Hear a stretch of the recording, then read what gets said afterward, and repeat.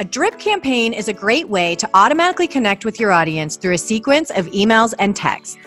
To create a drip campaign, go to the Campaigns tab inside LionDesk. Then click on the campaign folder you would like to create.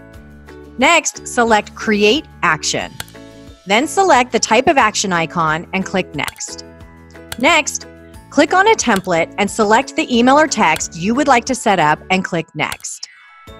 You can choose either immediately, delayed by date and time, or delayed by minutes. Then choose the timing you would like it to send and click Next. Next, select the assignee from which the message will come from and press Submit. Continue to add tasks, including emails, texts, and calls, until your drip campaign is complete.